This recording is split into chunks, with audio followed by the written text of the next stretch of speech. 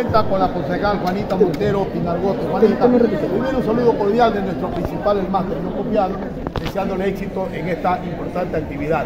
Feliz de poder haber eh, dicho a la ciudad todos los beneficios y todas las cosas buenas que estamos haciendo por Guayaquil.